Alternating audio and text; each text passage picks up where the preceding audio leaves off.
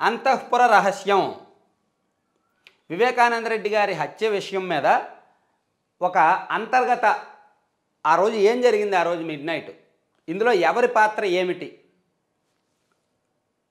అసలు why YS Jaganmohan Reddy గారి దంపతుల పాత్ర ఏమైనా ఉందా? వాళ్ళు ఏం మాట్లాడారు? ఏం సంప్రదింపులు జరిపారు? అవినాష్ రెడ్డి గారు అర్ధరాత్రి టైంలో ఎవరెవరితో మాట్లాడారు? ఇవన్నీ కూడా అంతఃపుర రహస్యం అనే పేరుతో ఆంధ్రజ్యోతి రాధాకృష్ణ గారు ఒక వార్త సెన్సేషనల్ వార్త రాశారు. చూడవచ్చు ఇక్కడ.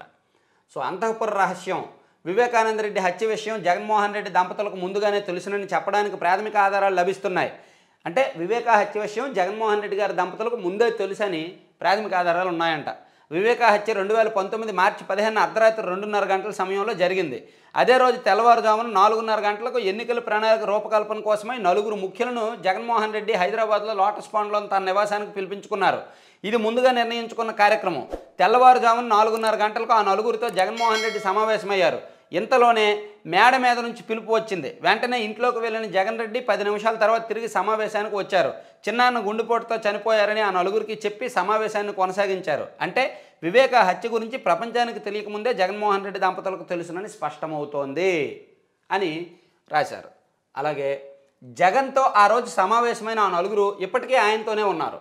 ఆ నలుగురు మరెవరో కాదు ప్రస్తుత MLC Ummareddy Venkateswarlu Jagan personal secretary Krishnamohan Reddy దివంగత స్వామియోజుల కుమారుడు కృష్ణ రిటైర్డ్ ప్రభుత్వ ప్రధాన కార్యదర్శి అజయ్య కల్లం. సిబిఐ ఈ నలుగురిని విచారిస్తే అసలు ఏం జరిగిందో బయటకు వస్తోంది. కన్నతల్లి సొంత సోదరి దూరమైన లెక్క చేయని జగన్ తన తాత రాజారెడ్డి సోదరుడు మనవడైన అవినాష్ రెడ్డి కోసం ఇంతలా ఆరాటపడడం ఆశ్చర్యం కలిగించక మానదు. తన సొంత కుటుంబీకులను కూడా కాదనుకోవడానికి వారినే నిందితులుగా చిత్రీకరించడానికి జగన్ ఈ స్థాయిలో ప్రయత్నాలు చేయడానికి కారణాలు ఏమిటి? రాజశేఖర్ రెడ్డి లేనందువల్ల లాభపడింది జగన్మోహన్ రెడ్డి మాత్రమే.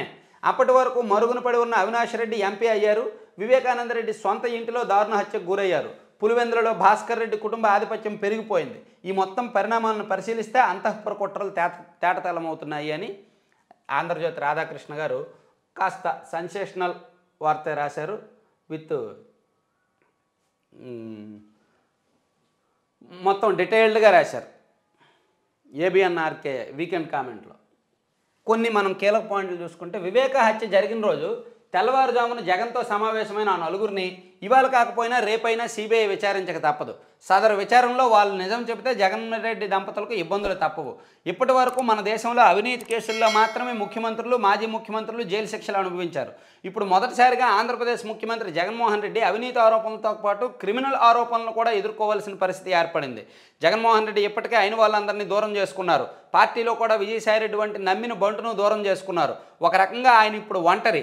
రాజశేఖర రెడ్డితో సంబంధం ఉన్నవారే కాకుండా ఆయన పట్ల గౌరవంతో జగన్ రెడ్డికి దగ్గరైన వారందరూ ఇప్పుడు ఒక్కొక్కరుగా దూరం అవుతున్నారు అని రాశారు. మొత్తానికి వివేకానంద రెడ్డి గారి హత్య మీద ఒక ఘాటు మసాలా కామెంట్స్ ఇంటర్నల్ వ్యవహారాలన్నీ కూడా రాశారనమాట అవినాష్ రెడ్డిని రక్షించుకోవడానికి జగన్ అనుకోకు న్యాయ వ్యవస్థలో అన్ని దారులు మూసుకుపోయాయి.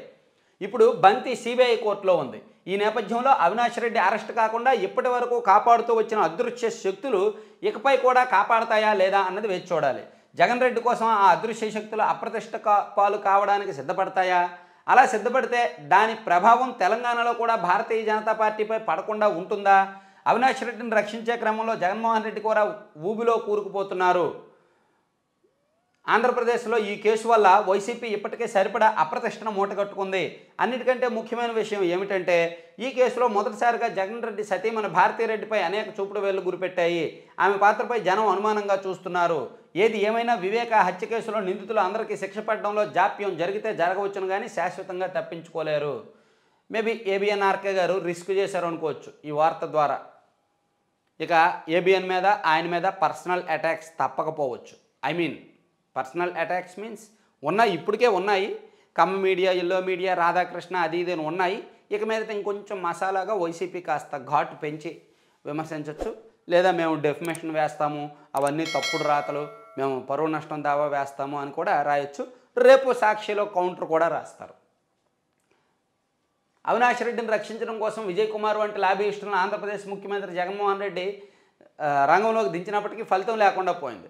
న్యాయమూర్తుల పరిచయం ఉన్నంత మాత్రాన వారిని ఎవరూ ప్రభావితం చేయలేరని సుప్రీంకోర్టు ఆదేశాలతో స్పష్టమైంది. న్యాయపీఠాన్ని అధిష్ఠించిన తర్వాత కేసులోని మెరిట్స్ ఆధారంగా న్యాయమూర్తులు వ్యవహరిస్తారని ఈ సందర్భంగా మరోమారు రుజువైంది. అయినా దింపుడు కళ్ళం ఆశతో ఢిల్లీలో పరిచయాలు ఉన్న ఒక అధికారిని ఈ నెల ఇరవై నాలుగున ఇరవై నాలుగుకు ముందు ఢిల్లీ పంపారు. ఆయన రెండు రోజుల పాటు ఢిల్లీలో మకాం వేసినా ఫలితం లేకుండా పోయింది. అవినాష్ రెడ్డి అరెస్ట్ కాకుండా అడ్డుకునే అన్ని దారులు ఒక్కొక్కటిగా మూసుకుపోవడంతో జగన్ అండ్ కో సొంత విచారణ చేయడం మొదలుపెట్టింది.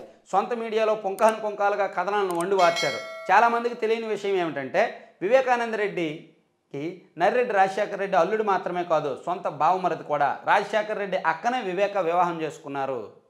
సో అటు అంత క్లోజ్ రిలేషన్కి ఎందుకు చంపాల్సి ఉంటుంది అనేది రాశారనమాట ఒక మాజీ ఎంపీ మాజీ మంత్రి దివంగత ముఖ్యమంత్రికి సొంత సోదరుడి హత్య కేసు దర్యాప్తునికి ఇన్నేళ్ళు పడితే సామాన్యుల పరిస్థితి ఏమిటి? న్యాయం కోసం పోరాడుతున్న వాళ్ళు జైల్లో మొగ్గుతుండగా జైల్లో ఉండాల్సిన వాళ్ళు పదవుల్లో ఉండడం ఏమిటి? వెసులుబాటు పేరిట న్యాయస్థులకు న్యాయ వ్యవస్థలో అన్ని ద్వారాలు తెరిచి ఉండడం ఏమిటి? అని కొత్త పలుకులో ఏబిఎన్ రాధాకృష్ణ గారు కొంచెం ఘాటు కామెంట్స్ చేశారు. సో దీని పర్యవసానాలు అయితే కొంచెం సీరియస్గానే ఉంటాయేమో చూద్దాం.